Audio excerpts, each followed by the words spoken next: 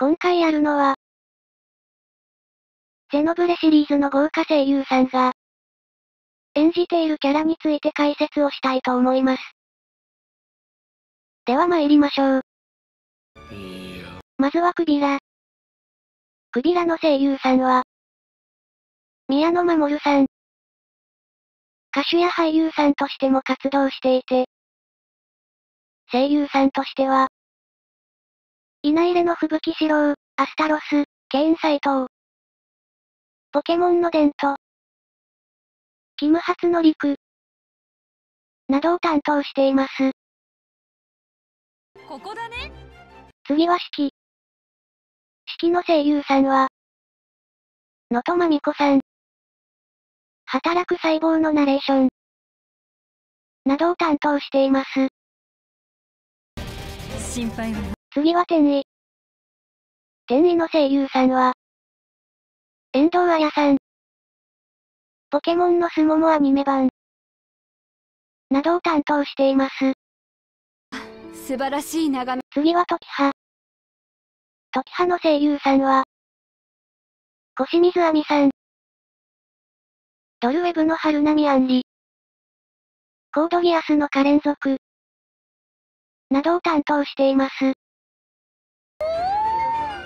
次はニューツ。ニューツの声優さんは、鹿陽子さん。稲入れ GO のフラン。ポケモンの斎藤。などを担当しています。次はミクマリ。ミクマリの声優さんは、桜彩音さん。ポケマスのかすみ。スパイファミリーのフィオナ・フロスト。ファイアーエムブレムのミネルヴァ。などを担当しています。次はメイ。メイの声優さんは、千本木さやかさん。ポケモンのキクナ、ゴーのメッソン、ジメレオン。などを担当しています。これを見て。次はメノウ。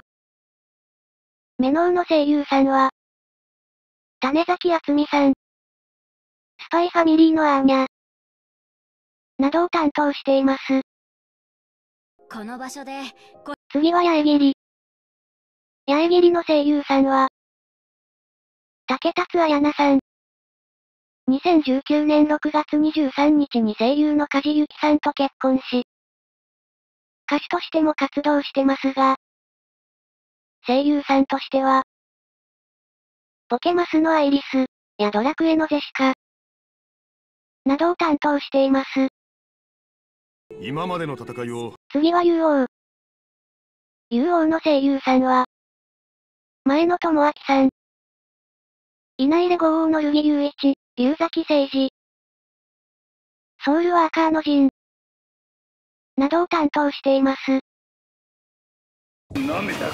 次は黒いフェイス。黒いフェイスの声優さんは、若本のりおさん。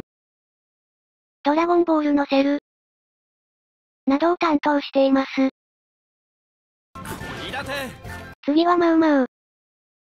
マウマウの声優さんは、三木慎一郎さん。ポケモンの小次郎、サトシのリザードンはもちろんのこと。アニメ版ハガレンのロイマスタング。銀玉の坂本達馬。ワンピースのペドロ。などを担当しています。次はユーニ。ユーニの声優さんは、ハンメグミさん。稲入れ GO のさん。などを担当しています。次は体温。体温の声優さんは、木村良平さん。もともとは子役の人ですが、声優さんとしては、稲入れ五王のアスタ、や七つの題材のハウザー、などを担当しています。この動画最後に紹介するのは、ルディ。ルディの声優さんは、小林優さん。稲入れ五王の霧の蘭丸。ファイアーエムブレムのルキナ。